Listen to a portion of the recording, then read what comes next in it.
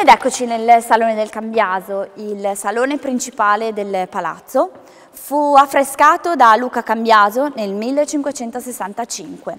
Il riquadro principale è eh, una figura mitologica, è Ulisse che saetta i proci e intorno le lunette sono il percorso di Ulisse che rientra a Troia.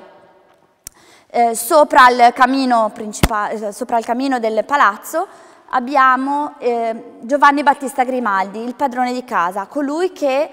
mh, fece realizzare il palazzo, di professione era banchiere e aveva prestato i soldi a Carlo V re di Spagna, esattamente colui che è eh, seduto di fronte a Giovanni Battista Grimaldi, sempre anche lui con lo scettro in mano.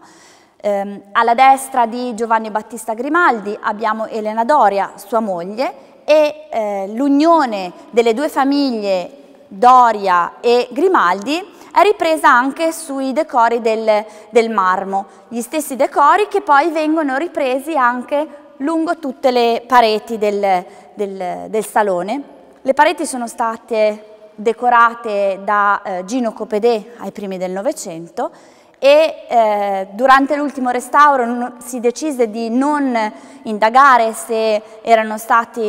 c'erano altri affreschi o decori eh, alle pareti perché molto probabilmente per scaldare gli ambienti eh, venivano appesi alle pareti le, degli, degli arazzi.